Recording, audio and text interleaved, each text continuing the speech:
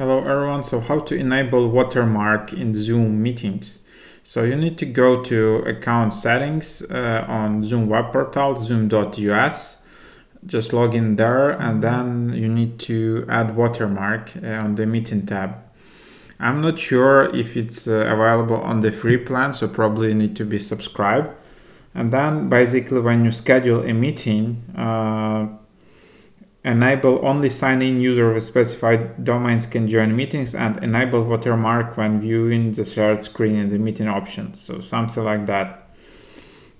Uh, so there you have it. And so for example this is how it looks like. This is the watermark. So as you can see admin is here. So this way you can kind of protect some content when you're sharing your screen in zoom uh, yeah so for example there you have it so hope that was helpful